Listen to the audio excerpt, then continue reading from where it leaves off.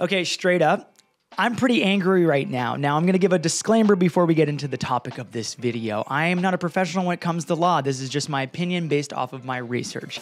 Now, let's get into it. So, last night, Lizzie's mom was over and we were just sitting as a family and we were like, let's watch some YouTube videos. So, I pull up YouTube, I quickly check Creator Studio, and there's a little notification right at the top of my YouTube studio that says Canada's Online Streaming Act, Bill C 11, could affect your ability to reach your audience and earning potential as a YouTube creator. My heart sunk in that moment because I know exactly what Bill C 11 is. Now, to give you a quick update, this is the updated version from Bill C 10. I've heard about this for the last couple years, but it went kind of quiet, and some of the things that were talked about in that bill were not that concerning, but they've updated it and they're kind of sneaky now. And now it impacts us very, very much. So much so that it could impact where we live just because of our career choice. Isn't that a fun situation to be thrown into? So you start getting into this moment where you're like fight or flight mode because your ability to make money, your ability to provide money to other people who work for this YouTube channel,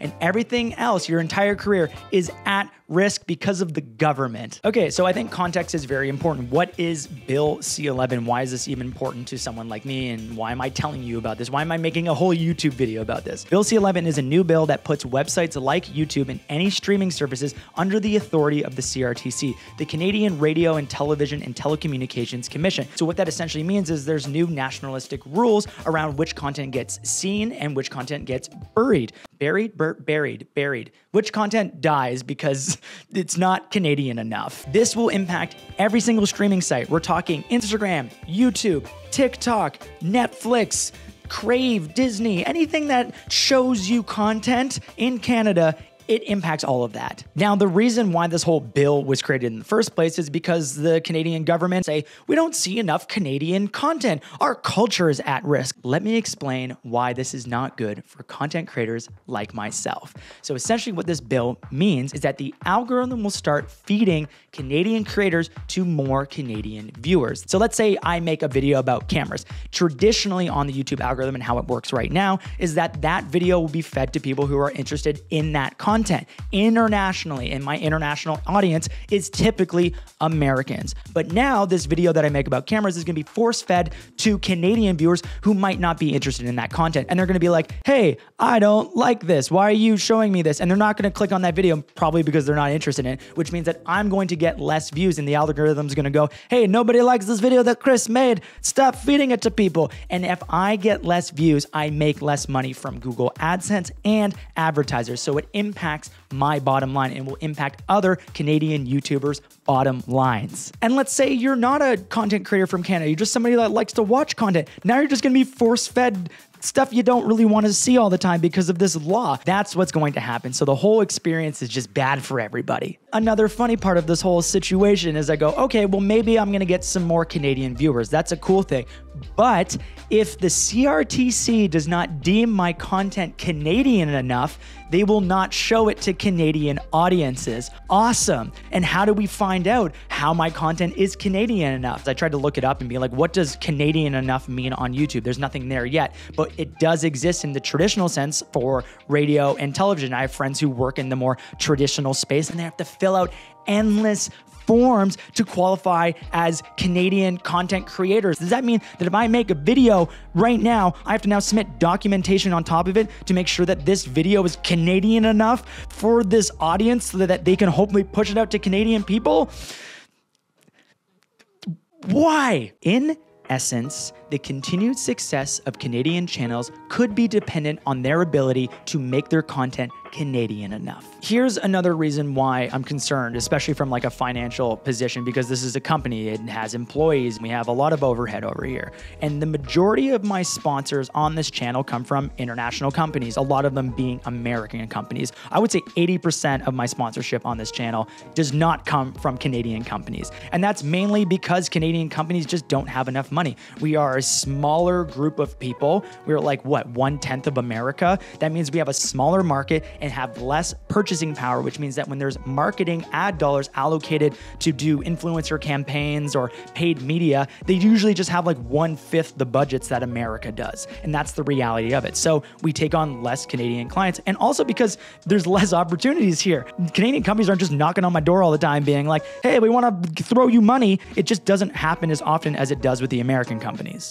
These laws most likely will mean that I am going to be less desirable to international advertisers and international clients, mainly because they don't want to have to deal with the BS of this Canadian law. And also, if they're spending American dollars and now they're getting force fed to Canadians who might not be a part of their market, then then what what's the point of that? And the irony of this whole situation is that if I just relied on Canadian advertisers, I could not afford to live. I could not afford to pay Lucas his full-time salary, who is the editor on this channel. I could not afford to pay all the freelance people who help out on this channel. Canadian YouTubers provide jobs for people in Canada who pay taxes and provide money to the government and then use that money that they've made from that channel to spend more money in Canada. Now, I know I've talked a lot about money. It's not all about the money, but it is important for people to live. This is how we survive. And can we just be honest? If you're Canadian and you're watching this, are you like, are you feeling like you're missing out on Canadian content? Like, literally, if you go onto Netflix and you look up Canada, you can find all the Canadian content. It's also like force fed you there too. Like, there's little sections of being like,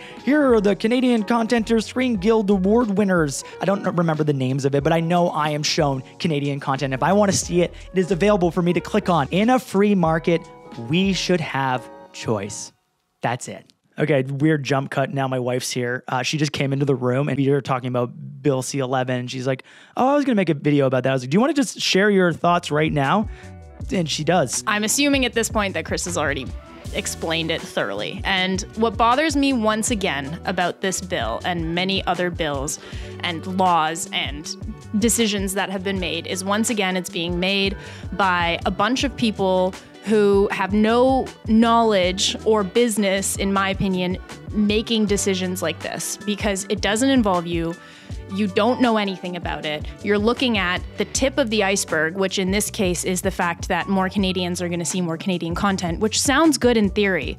But what they don't see, because they don't talk to us and they don't ask us questions about it and they don't talk to the people who actually know what's going on, the giant rest of the iceberg underneath the water and all of the problems that this is going to cause, and especially to our livelihoods and the jobs that Chris and I provide. And people may think that content creators are a joke, our jobs are not important. These people making these decisions don't understand how our business model works and how we're actually contributing to society because they don't bother to ask us. All they're caring about is, in this case, the viewers and how it feels to be them watching the content. They don't know anything about the industry as a whole, and that makes me really angry.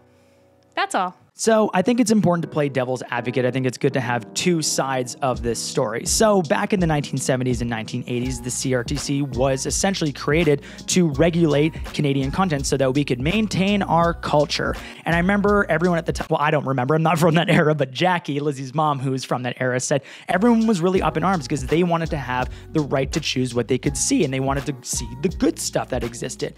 But she found out later that she was actually exposed to a lot of really great Canadian talent. And maybe this new system actually supported a lot of up and coming artists so that we could create shows like Schitt's Creek, which is an internationally renowned show that is Canadian. We have artists like Avril Lavigne, we have Drake, we have Shania Twain, we have Lilly Singh, we have Peter McKinnon. So I guess there's potential systems in place to let this talent grow and manifest and become what it is today.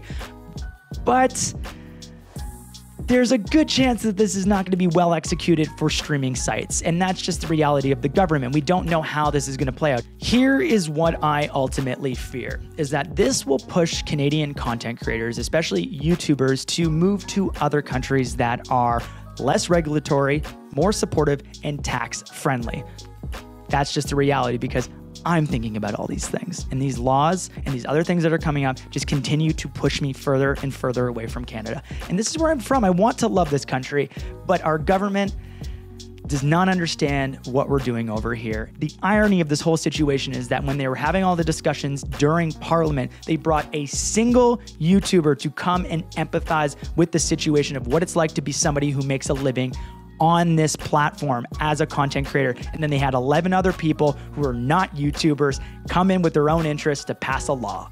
How cool is that? To summarize, in the bill's current form, how it is right now, that means that Canada will have control over Canadians' viewing experience and it will impact creators' livelihoods. If you want to support this movement or have a voice in this, or maybe we can make a difference together, I'm going to leave a link in the description below, which is essentially a letter that will get sent out to all the MPs and the different people who work in government in our area to voice our opinion about Bill C 11. Now, if you're American, literally just throw in a, a random postal code. It takes two minutes and it could actually make a difference. Also, send this to other big YouTubers, whether they're American or Canadian, so they're aware of this and that hopefully they can speak out too, because this bill impacts everything. I'd love to know your thoughts below uh, if you're a content creator or somebody who's from Canada or just someone who cares about Canadian content creators and what your thoughts on this bill are. And maybe if you have any thoughts on how we can make a difference. Thank you guys so much for watching this video. Please press like so that hopefully this message